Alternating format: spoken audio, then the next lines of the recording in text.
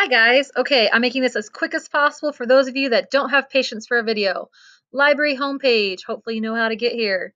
Gale Power Search, bottom right hand corner. I'm going to open up Power Search because it searches all Gale ebooks and all of the Gale databases.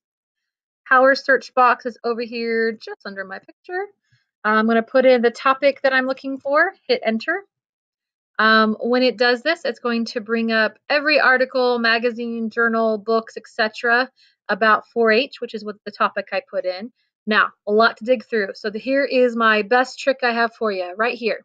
Almost all Gale databases have this. It's called Topic Finder.